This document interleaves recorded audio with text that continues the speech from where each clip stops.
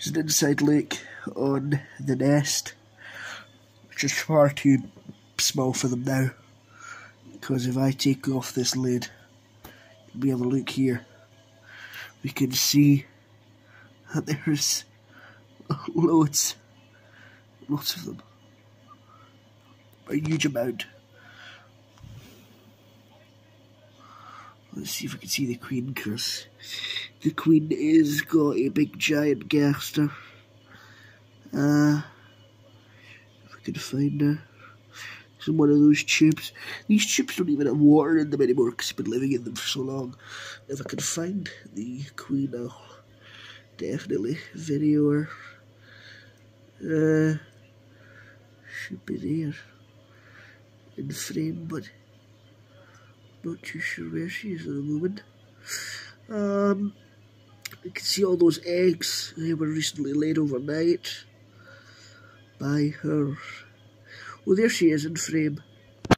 Right there. Oh, get her close up. She's got um, a massive gas. Sorry for my shaky hands. Uh, you can understand why they're quite shaky around these hands because they're so fast and sporadic. But there she is there. Just, uh, she was walking around a minute ago. Obviously she's been tended to by her workers. So, there she is there. Huge, huge queen. Um, it was small when I got her. And now it's, um, it's huge. Um, also if I was to do this, have a look, so, look at that. So much activity such a beastly colony. This colony was bought from Antkeeping Depot and um, a tremendous amount all over the place. I'm going to need to get them a bigger nest. So when I hydrate this, they put all the pupae in here for some reason. Um, because um, they've got all the larvae in the drier spots for some reason. I would have thought they would have had their other way around, but well. But um, them on their um, dinner, which is dubia roaches at the moment. I need to get more because I've got so many colonies. Uh, but yeah, they're doing quite good. Uh, these dubia roaches are dead. It's just their gangula which um, is going around. You can see that. They are, I can assure you that they are dead. Um, but it's amazing, it's amazing to watch um, them feeding. Truly, truly is amazing to watch them feeding. Um, absolutely swarming the dubia roaches. I make sure to cut them, uh, cut the uh, the edges there so uh, uh they die but sometimes the gangula can still be attached, hence why the head's moving. The heads are moving of the roaches, so that's why.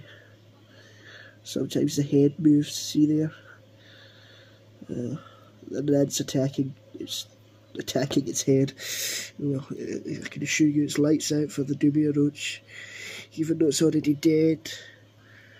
Um, use that for a brood chamber there. I chuck um, chucked a sugar test tube in there, sugar water test tube, and it's already been drunk out of. Um, overall, I'd say um, this colony is um, not even a. I think this colony is not even a year old, and they're this uh, this big, which is superb in my opinion. Started off in that test tube there, got too big, and moved in here. Got too big for that nest, and I put this big boiling tube in here.